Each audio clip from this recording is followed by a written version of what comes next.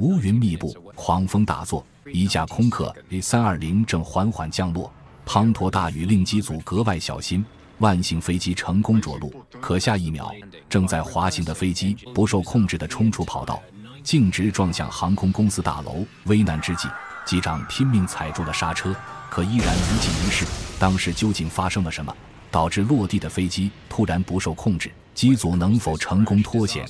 让我们重回危机现场，一起还原这起空难的真相。二零零七年七月十七日，天马航空三零五四号班机从巴西阿雷戈里港小萨尔加多国际机场起飞，前往圣保罗孔戈尼亚斯国际机场。机长萨克时间五十三岁，累计飞行时长一万三千六百五十四小时。副机长利马时年五十四岁，拥有近一万四千七百八十小时的飞行经验。这是天马航空公司资历最为深厚的机组配置。而今天的直飞飞机是一架空客 A 三二零客机。这款机型自首飞以来，变成了全球最受欢迎的窄体机型之一。机上共搭载了一百八十一名乘客以及六名机组人员。对于机上的乘客而言，这样的搭配堪称完美。所有人都认为。这是一次再平常不过的旅程。九十分钟后，飞机将顺利抵达目的地。然而，谁都没有意识到，死亡的钟声已然敲响。傍晚时分，天公不作美，圣保罗市下起了瓢泼大雨。三零五四号航班顺利抵达机场上空后，机组收到了来自空管的最新信息：为了安全起见，原来预计降落的三十五号左跑道，因暴雨导致路面湿滑，暂时关闭，飞机需在空中盘旋一会儿。等待新的降落指示。这个意外状况令机长感到非常的不安。他让副机长查看航行地图，做好备选方案，并将情况通知乘客。随后便紧张地等待空管的回信。为何经验丰富的机长会如此不安呢？原来，孔戈尼亚斯国际机场建在圣保罗市中心的一座山丘上，周围坡度陡峭，并且高楼林立，车流密集。没有空间设置跑道末端的安全区域，而三十五号左跑道作为机场的主跑道，长度却还不足两千米。对于起降空客 A 三二零这种级别的客机而言，十分勉强。一旦起飞决断，速度不够，或者将落后刹车不及时，都容易造成冲出跑道的事故。再者，跑道没有做好排水系统，此前就曾多次发生飞机冲出跑道的案例，因此。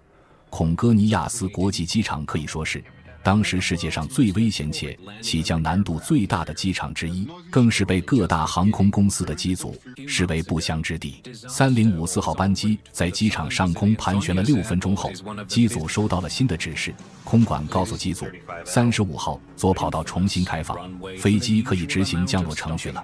对于乘客来讲，不用备降其他机场确实是个好消息。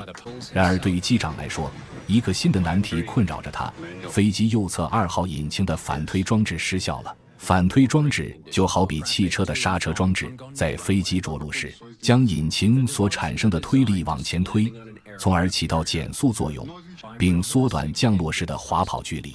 反推装置失效意味着。机组需要在制动能力不足的情况下，将飞机安全降落在湿滑的跑道上。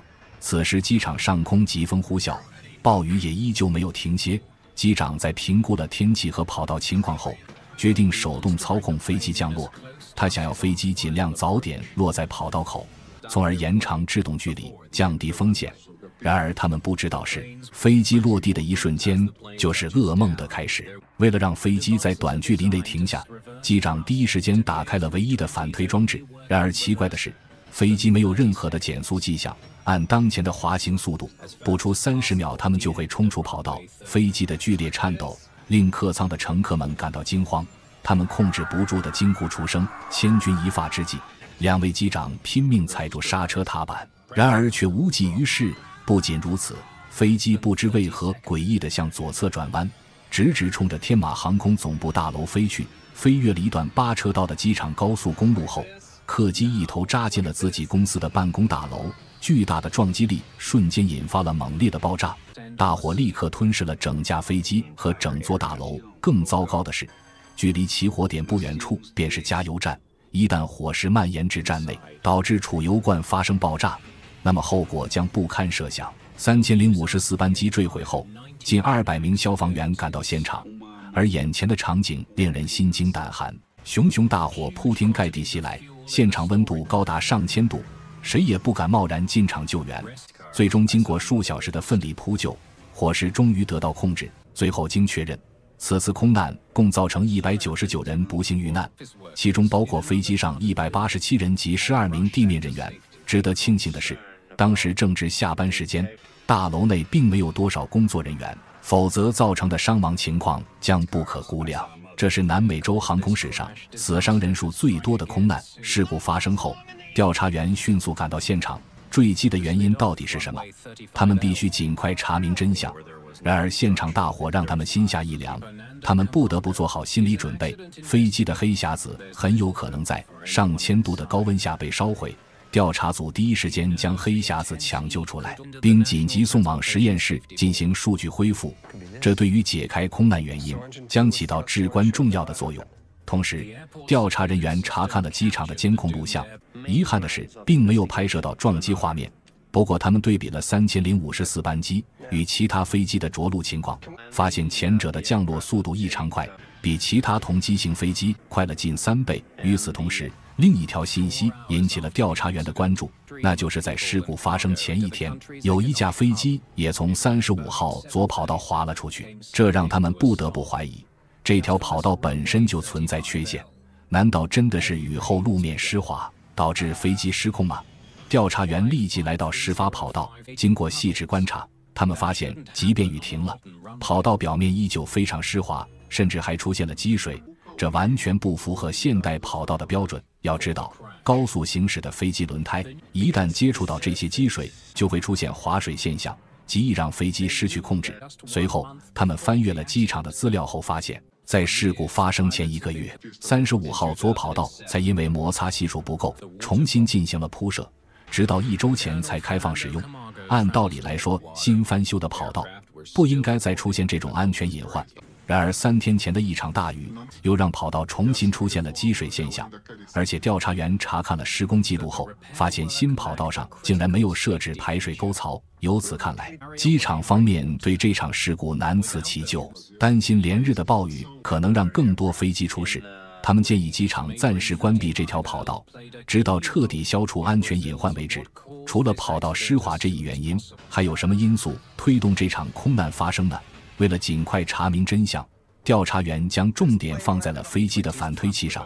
维修记录显示，事故发生前四天，工程师曾关闭右侧的反推器，这属于例行维护。而且在接下来的四天中，飞机仍然能顺利起降，甚至在事发当天的早些时候，还曾顺利在三十五号左跑道安全着陆。那么这次为何会出现如此大的偏差呢？调查人员百思不得其解。就在这时，一个好消息传来。尽管飞机的黑匣子受损严重，但工程师们还是解析出了其中的数据。飞行数据记录仪显示，飞机在碰撞前刹车正常，也没有打滑。但接下来的发现却让人感到奇怪：飞机的两个引擎出现了不协调，左侧引擎在反推帮助减速，而反推失效的右引擎却正在加速。不对称的推力使得飞机向左偏向。调查员心里的疑问越来越大：驾驶舱到底发生了什么？是机械因素还是人为因素？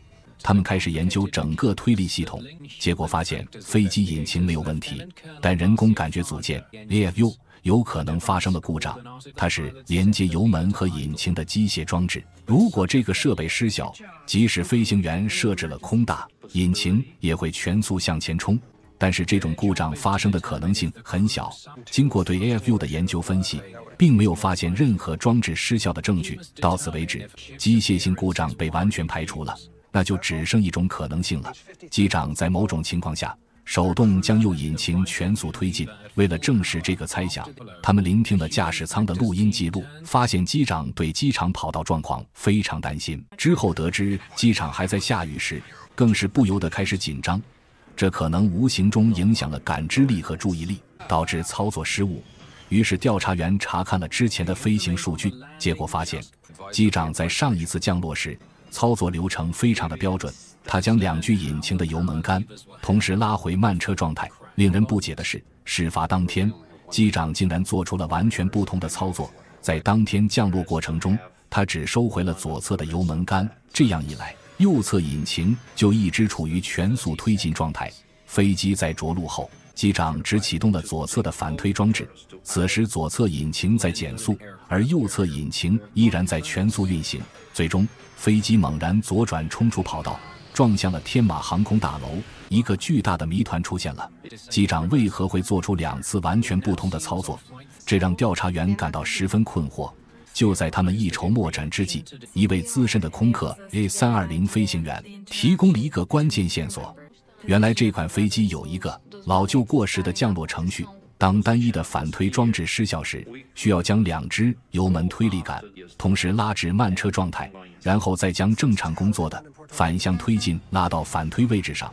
但是飞行记录仪数据却显示，机长并不是这样操作的，没有将右侧油门杆拉回慢车状态。那么，经验丰富的机长为何会犯下如此致命的失误呢？调查员认为，是因为心理上的紧张导致操作上出现了失误。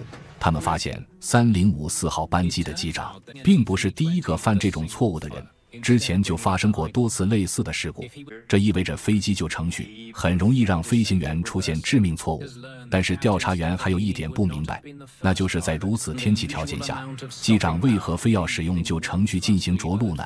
在询问了航空公司其他飞行员后，调查员才明白，原来旧程序可以更快地将飞机停下来，在跑道湿滑的情况下。机长如此选择情有可原，但却没想到犯下了一个致命错误。为了更加具有说服力，调查组通过模拟机进行了多次测试，逐渐还原了事发最后几分钟的情况。驾驶舱内一片漆黑，机组人员很难看到推力杆的位置。这也许可以解释为何机组人员没有发现右侧引擎还在前进的原因。经过长达十六个月的调查，二零零八年十一月十九日。